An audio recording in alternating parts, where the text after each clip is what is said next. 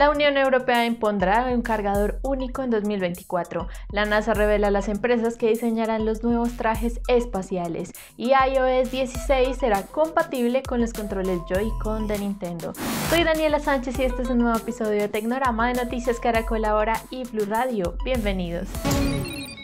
La Unión Europea adoptará un cargador único para todos los dispositivos electrónicos en 2024, es decir que todos deberán tener una entrada USB tipo C para reducir los desechos tóxicos de miles de cables que los usuarios de las distintas marcas deben comprar para cargar sus celulares y tablets.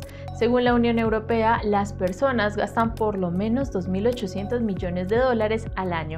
El proyecto habría enfrentado la oposición de Apple, ya que esta empresa suele usar la conexión Lightning, una que solo manejan los dispositivos de esta marca, es decir, una vez se firme el acuerdo, tendrán que implementar la entrada universal. La NASA reveló el nombre de las dos empresas encargadas de diseñar y crear los nuevos trajes espaciales con los que los astronautas viajarán a la Luna. Se trata de la empresa Collins Aerospace y Action Space, quienes tienen su propia marca de vuelos comerciales y su estación privada.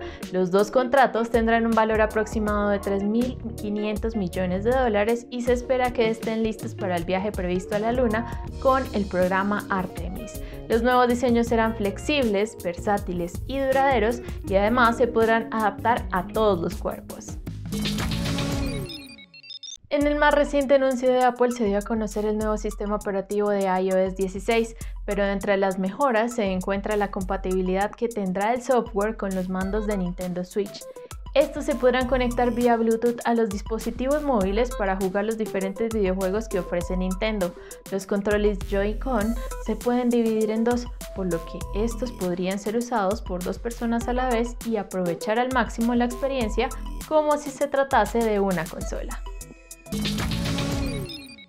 Esto fue todo por hoy. Nos encontramos en un próximo episodio de Tecnorama de Noticias Caracol Ahora y Blue Radio, con noticias, consejos, información y todo lo relacionado con el mundo de la tecnología, la ciencia y la innovación. Chao, chao.